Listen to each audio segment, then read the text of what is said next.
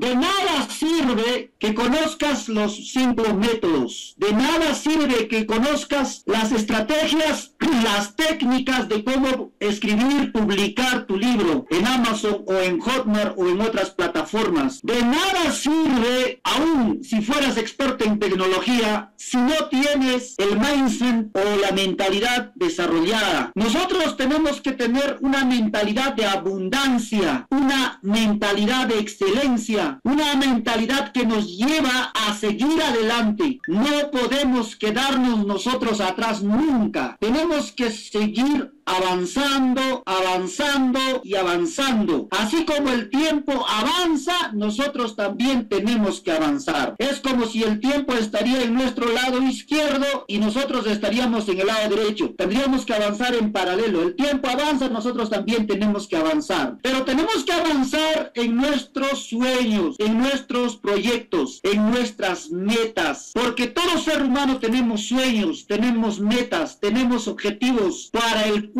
tenemos que esforzarnos y tener en cuenta de que nosotros tenemos que tener una mentalidad positiva, una mentalidad triunfadora, una mentalidad ganadora, una mentalidad de abundancia. Como les digo, de nada sirve saber todas las estrategias, todas las tecnologías si no tienes una buena mentalidad. Esto es muy importante ya que si tienes una mentalidad positiva, guerrera, luchadora, vas a seguir permaneciendo, luchando y enfocándote en tu sueño, en tu meta. Entonces desarrollarás la disciplina constante con enfoque. Esto quiere decir que uno tiene que seguir luchando y luchando, esforzándose, sacrificándose. No todo el camino del emprendedor es fácil. Hay subidas en el camino, hay bajadas en el camino, habrá obstáculos en el camino, pero nunca debes de dejar de luchar.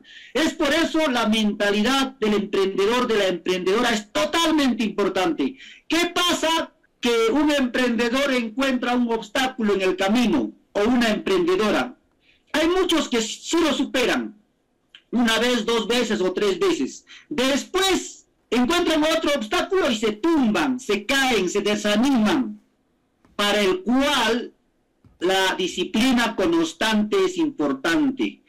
Seguir esforzándose. El agua orada o sea, hueca la roca, no porque es fuerte, sino el agua orada, la roca, porque es constante, porque es una persistencia constante, por eso lo hace.